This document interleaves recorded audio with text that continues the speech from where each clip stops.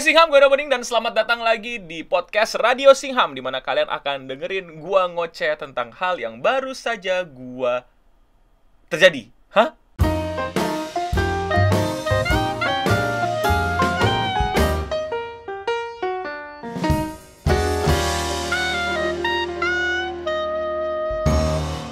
Selamat datang semuanya di podcast Radio Singham dan kalian bisa dengerin podcast ini di YouTube tapi kalian bisa ke New Tab terus kalian sambil ngerjain tugas kalian atau sambil tetap main game atau bahkan sambil kalian ngerjain kerjaan rumah, beresin kamar, masak.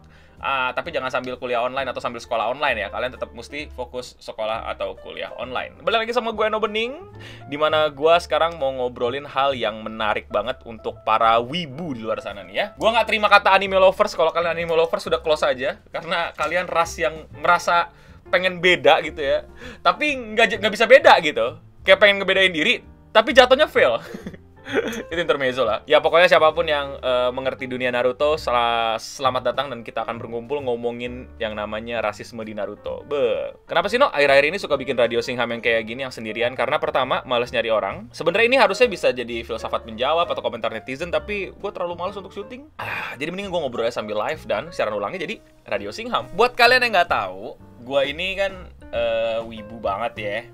Dan nggak tau lah wibu banget apa enggak gitu. Tapi ya gua nonton Naruto dan gua melihat Naruto tuh nggak sekedar anim rasengan-rasenganan doang gitu ada yang lain di situ ada ngomongin masalah geopolitik sosial dan bagaimana humanity dan bagaimana uh, kekuasaan itu saling bersinggungan. Nah, ini menurut gue keren banget. Dan ada sebuah video di TikTok yang nanya gitu loh. Uh, video, kayak, tau kan lu kebiasaan TikTok, ada orang nanya terus lu stitch videonya, terus lu jawab jawaban lo. Dia nanya, siapa karakter anime paling rasis? Oh, tentu otak gue langsung menjawab satu nama yang sangat-sangat tidak bisa lepas. Langsung aja, nggak usah dipikir langsung, teng tiba-tiba muncul. Langsung keluar di otak gue namanya adalah Tobirama Senju. Ya, Tobirama Senju.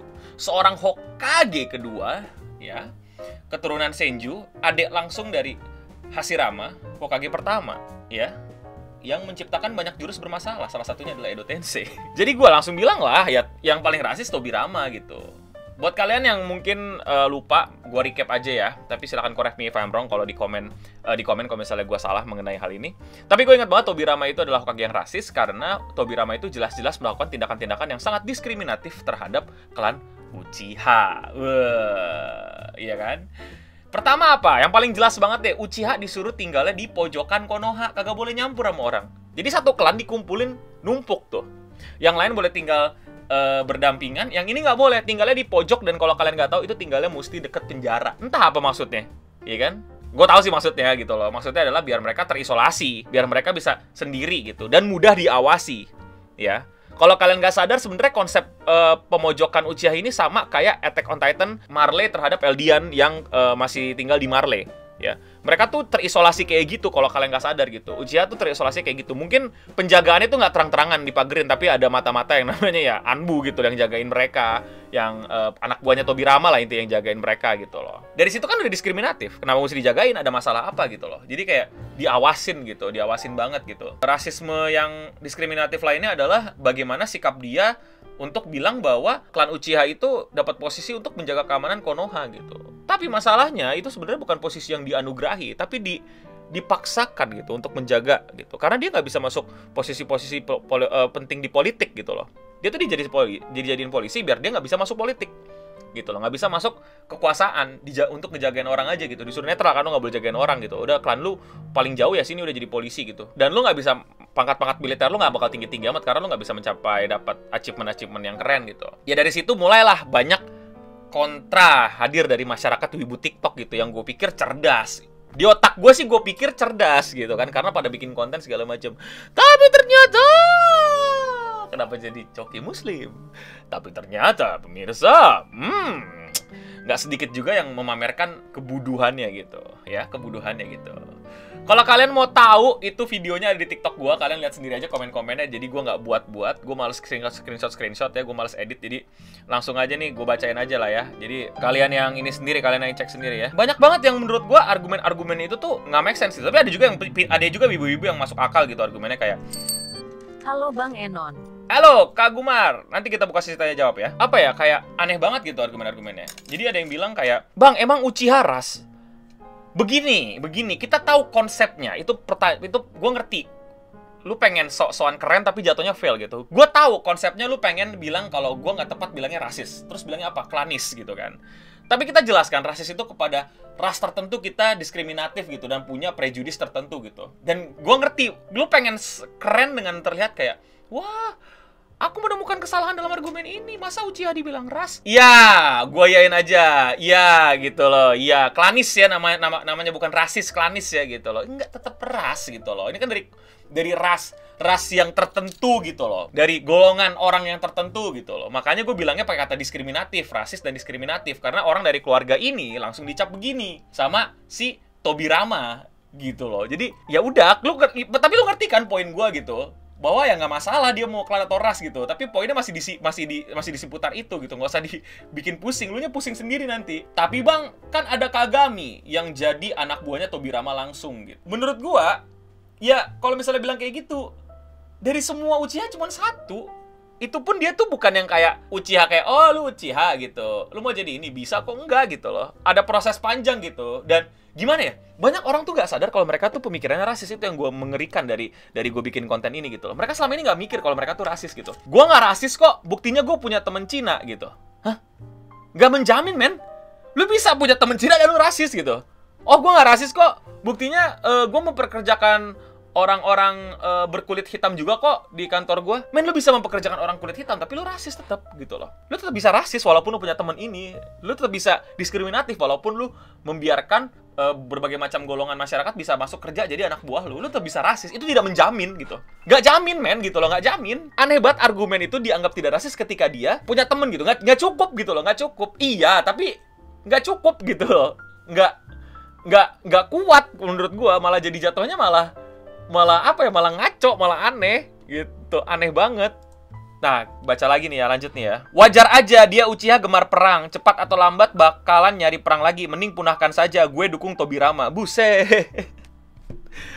Dipikir lucu anjir bercandaannya gitu. Lu langsung mengkategorikan semua yang Uchiha itu deman perang. Kan bahaya banget pemikiran kayak gini gitu. Jadi musnahin aja gitu. Ini bahaya banget pemikiran kayak gini kalau bocah-bocah menganggap ini keren gitu. Kayak what Kenapa? What? Tahu dari mana? Kita punya punya banyak banget Uchiha yang nggak demen perang. Dan kalau ngomongin demen perang, lu pikir Senju nggak demen perang? Lu pikir Senju anak klannya ka- kalem-kalem baik? Ya ada juga yang demen perang. Ya lu tangkepin yang demen perang. Ya, lu penjarain yang demen perang. Masa lu mau sih pemikirannya dikuasai dengan cara yang aneh seperti ini gitu loh? Dan bangga gitu sama pemikiran yang kayak gini gitu. Maksudnya, bayangin men, contoh nih, contoh aja dah, contoh aja nih ya. Gue udah bikin juga video tentang contoh ini gitu. Lu kan nggak bisa request lahir di keluarga Uchiha, Senju gitu. Ini ngomongin fiksi, eh itu fiksi no gitu, ya ini fiksi. Tapi kalau di dunia nyata, lu kan nggak bisa request lahir dari keluarga pencuri. Lu bisa request nggak? Lahirkanlah aku di keluarga Bill Gates gitu. Lu pada kalau bisa request pasti pilih keluarganya udah yang udah yang nggak udah yang unik-unik gitu loh. Dan mungkin lebih yang pilih yang lebih baik daripada yang sekarang. Dan maka dari itu lo nggak bisa salahin orang hanya karena dia lahir dari keluarga tersebut. Tapi kalau lu lahir di keluarga pencuri, mau lu langsung ditangkap. Karena lu pencuri. Orang yang lahir dari keluarga pencuri adalah pencuri. Orang yang lahir dari keluarga pembunuh adalah pembunuh. Orang yang lahir dari keluarga Uchiha adalah orang yang demen perang. Harus dimusnahkan. Kan stres gitu. Tapi bang, kultur dan ajarannya ngaruh. Ngaruh. Tapi belum tentu. Belum tentu. Belum tentu. Ya pasti ngaruh. Tapi bukan berarti pasti membuat orang menjadi demikian. Nggak membuat like father like son. Udah nggak bisa. Nggak boleh. Dan itu buat gue pemikiran kayak gini tuh ibu-ibu tuh mesti stop gitu. Kayak, aduh men, lu dapat anim bagus yang ngejelasin bagaimana rasisme bekerja. Eh lu malah mendukung yang rasis ya kan? Kan gila. Jange banget. Nih, next lagi nih ya. Tapi bang, Tobirama kan trauma sama Uchiha. Ya mau lu trauma? Nyet. Jangan cari alasan apa sih yang yang membuat lu makin menunjukkan kemampuan berpikir lu bobrok gitu. Lu lu lu trauma sama sama pernah dikejar sama anjing terus lu bunuh semua anjing. Lu trauma pernah pacaran sama misal orang yang eh, zodiaknya Virgo terus lu bunuhin semua orang Virgo. Kan konyol. Ngap ya gue gue paham lu punya traumatik terhadap hal sesuatu tapi solusinya bukan langsung elim, elimi, eh, apa ya eliminate gitu. Karena apa sih? Ini wibu-wibu kenapa? Gitu loh? Trauma ya trauma aja. Ya gue paham orang bisa trauma. Gue yakin trauma itu ada gitu loh. Tapi bukan berarti solusinya adalah bantai Uchiha kan aneh gitu loh dan dia mau cari alasan yang keren tapi jatuhnya fail gitu gue sedih banget jadi kayak sedih dan lucu gitu kayak kenapa ya mereka lu tuh pengen banget keliat, kelihatan argumen lu stand out tapi malah malu-maluin diri sendiri gitu untung lu anonim tapi bang Uchiha kan terbukti baperan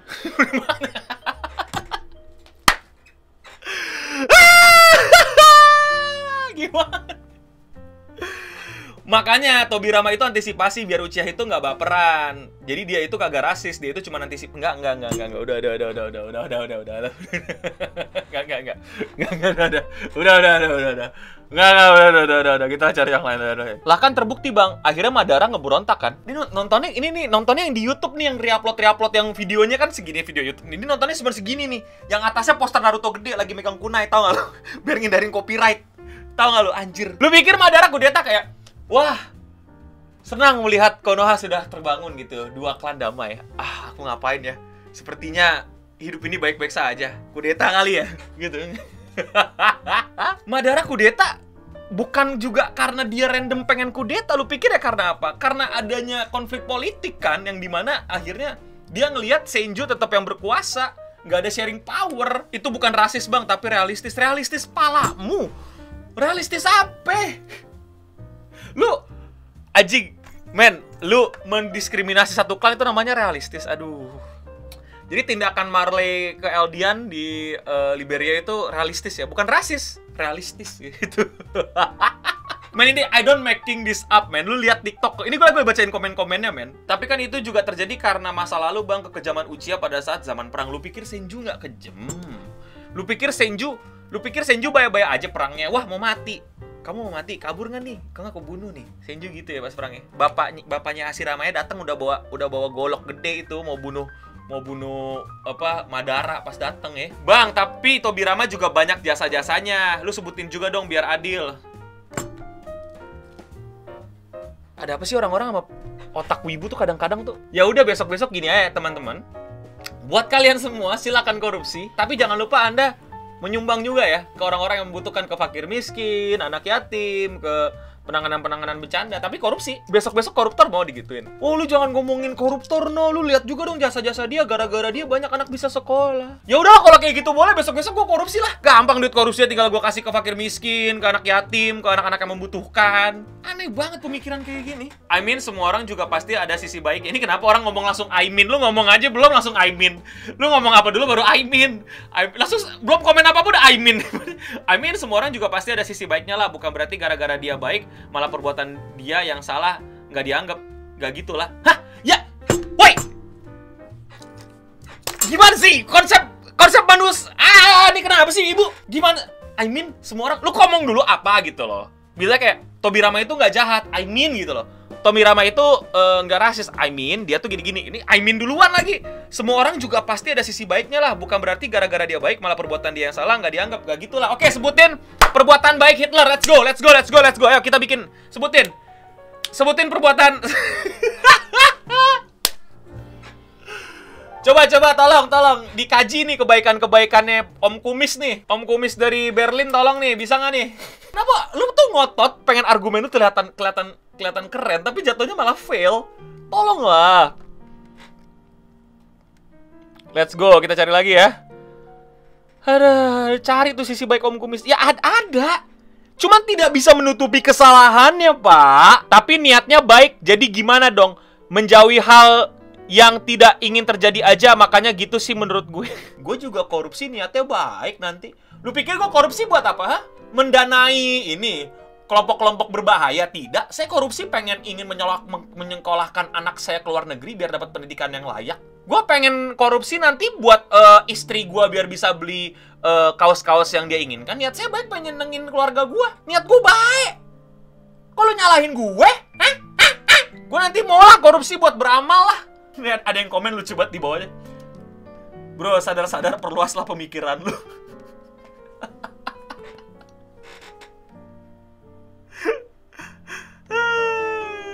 Tapi kan emang klan Uchiha rada nggak stabil dan klan Uchiha sendiri juga kebanyakan menganggap diri mereka spesial. Hey, jangankan klan Uchiha, Naruto aja menganggap diri dia spesial. Pengen jadi Hokage tiba-tiba lau sokap.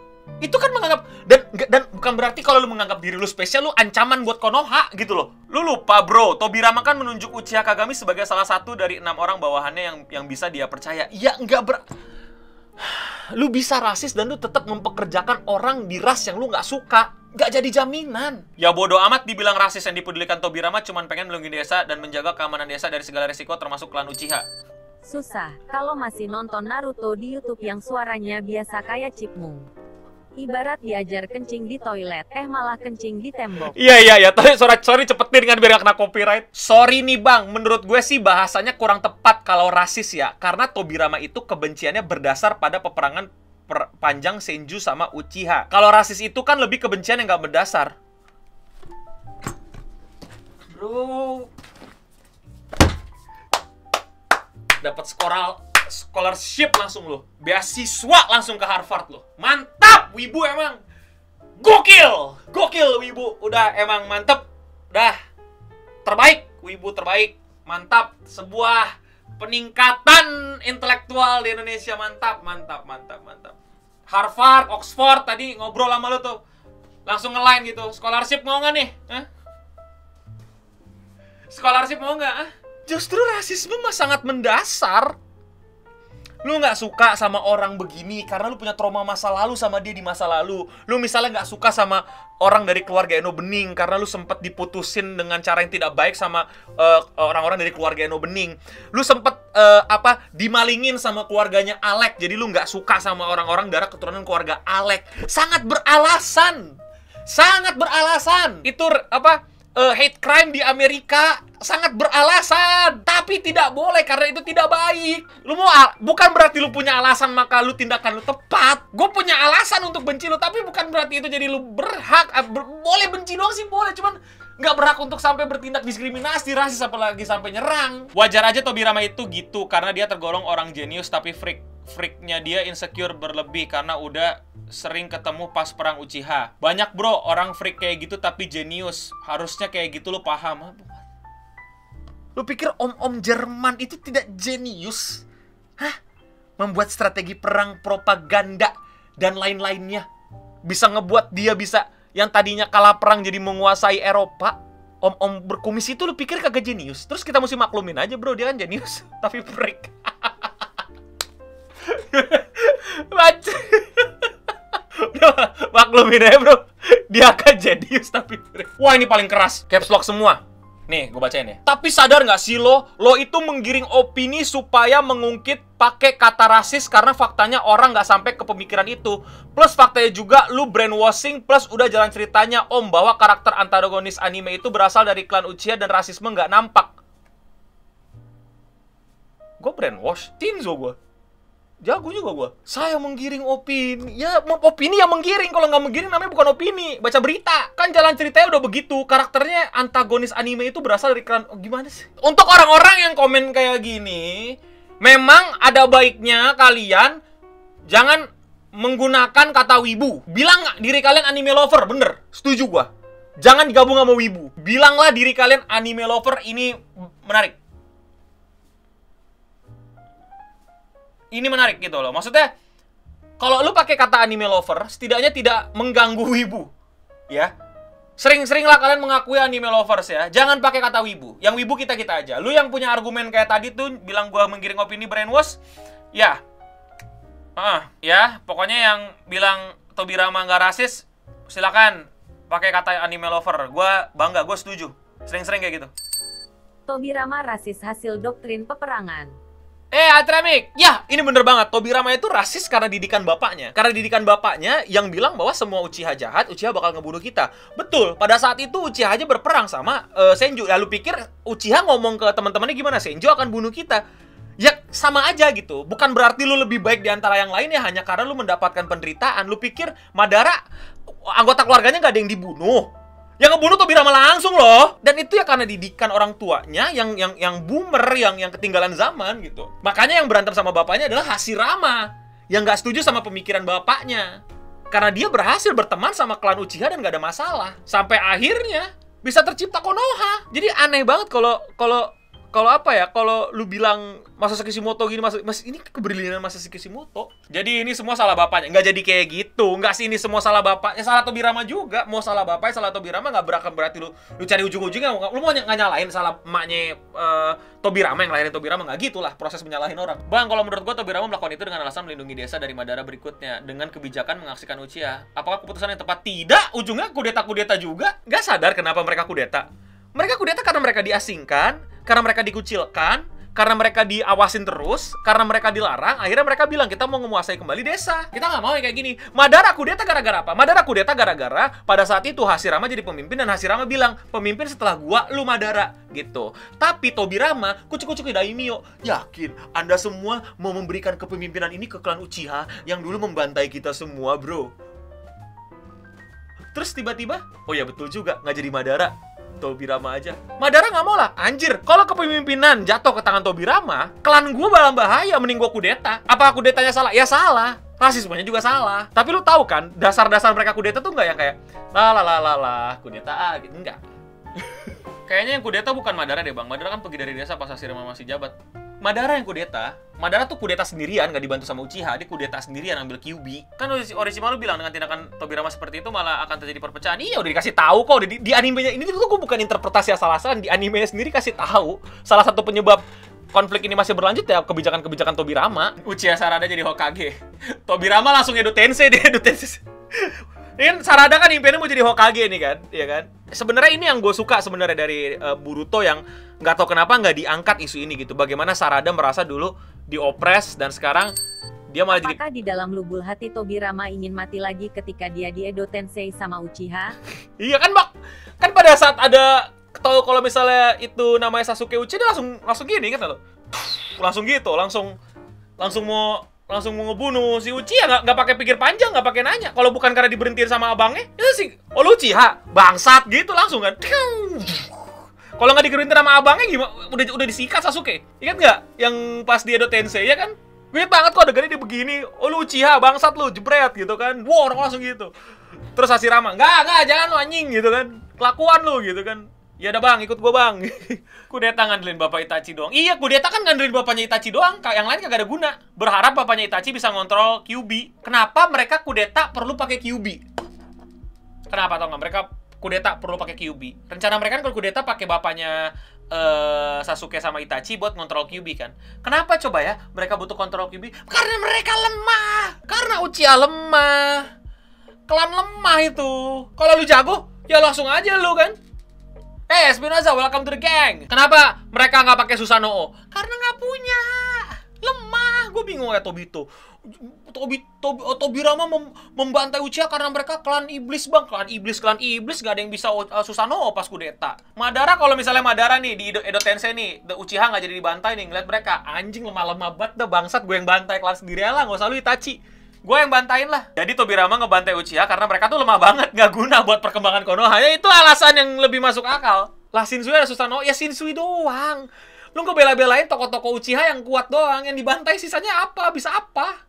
Katone nggak keluar. Padahal suruh kalau pada ngeluarin Susanoo pasti bantai Itachi. Iya, lu mau lihat gak Uchiha lawan Uchiha tuh gimana? Ya itu Sasuke lawan Itachi nggak terjadi. Dilempar kunai mati, dikasih katana mati, ya kan?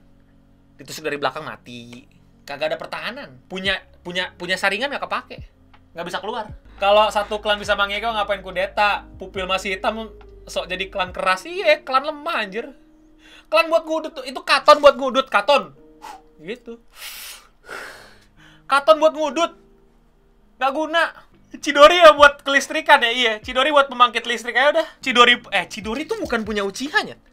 Chidori itu punya Kakashi, diajarin ke Sasuke. Nggak ada itu jurus jurusnya apa? Keturunan Uchiha nggak ada. Chidori itu punya Kakashi. Ya, jadi itulah. Bagaimana menurut gua eh, anime lovers ya kelakuan-kelakuan anime lovers yang bilang Tobirama itu tidak rasis gitu dibelain gitu. Jelas-jelas Tobirama bermasalah. Malah didiemin baik, ya kan dibelain, dibilang punya alasan lah, niatnya baik lah. Alah. Bertobatlah kalian wibu-wibu tersesat, kembalilah ke jalan yang benar ya. Ya, kalau kalian suka jangan lupa like, subscribe, dan komen di bawah pendapat kalian nih mengenai Tobirama yang rasis dan kelakuan wibu-wibu yang belain Tobirama ya. Sekali lagi, kalian boleh mengidolakan tokoh fiksi, tapi bukan menjadikan gaya hidupnya itu benar gitu. Ya kayak kalian suka sama Joker gitu kan keren gitu, karakter fiksi yang diciptakan secara keren gitu. Salut sama penulisnya gitu. Bukan jadi kayak aku ingin jadi kayak Tobi Rama. Jangan dong. Sekali lagi gue ingetin, lu pada tuh kadang kita bahkan gue mungkin kadang lupa kalau kalau apa ya nggak sadar kalau gue tuh rasis gitu. Nah ini gue kasih tahu banyak dari wibu itu nggak sadar kalau mereka tuh rasis. Contohnya adalah melihat Danzo itu tidak melihat Danzo lagi, melihat Tobi Rama itu nggak rasis itu bahaya menurut gue. Dan gue kasih tahu Tobi Rama itu rasis. Ya, kalau lu denial, nah hati-hati sikap lu jangan-jangan keluar selama ini lu rasis sama orang, tapi lu nggak sadar. Ah, oke. Yuk, komen di bawah kita diskusi bareng. Gimana? Udah selesai tugasnya, udah selesai PR-nya, udah selesai semua kerjaannya. Gua Eno Bening pamit undur diri dulu. Eh, kalau kalian ada saran-saran bahasa apa ke depannya, komen di bawah. Dan ya kalau misalnya kalian, bang ini kalau di Singhamnya gue telat mulu live streamnya, kalian subscribe terus unsubscribe terus nyalain semua belnya lagi. Jadi unsubscribe dulu terus subscribe lagi biar kalau misalnya kalian bisa ikutin versi live Radio Singham yang gak di cut, yang pure gitu, yang dua jam gitu. Kita ngebahasnya yang seru-seruan lagi gitu ya. Terima kasih juga buat para donatur setia yang telah menjadi Singham Kapitalis, mensupport eh, podcast Radio Singham dan untuk kita semua, stay clean and sound. Bye bye.